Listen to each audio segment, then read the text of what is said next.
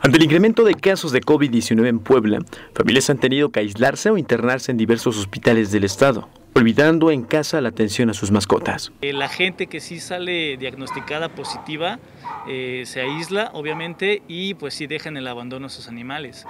Es en el momento ahí donde nosotros actuamos y bueno, pues a, raíz de las llamadas telefónicas, ya sea el 911 o al, teléfono de Ursba Emergencias, es como nosotros asistimos. En Puebla existe una unidad de rescate animal, voluntarios que velan por aquellas mascotas que tras la pandemia se han quedado solas. Las personas deberían de hacerse responsables también de sus animales. Entendemos que es una preocupación estar enfermo o tener el, el virus, pero pues tenemos vida, ¿no? Es como infectar a tu hijo pequeño o como a tu hermano, o sea, también hay que cuidar a nuestros animales, por eso son nuestras mascotas. Hasta el momento, la asociación no ha detectado caso de zoonosis en animales, que es la enfermedad parecida al coronavirus y que afecta a los animales.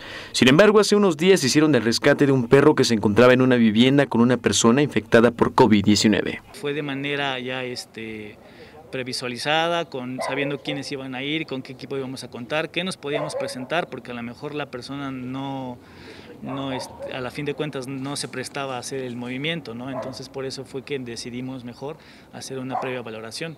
El grupo de voluntarios pide a la sociedad hacer conciencia en el cuidado de los animales, ya que tener una mascota es de suma importancia, debido a que la falta de economía en los hogares ha provocado que las personas abandonen a su suerte a los animales. Con imágenes de Edgar González, a Mauri Jiménez, Vega Noticias.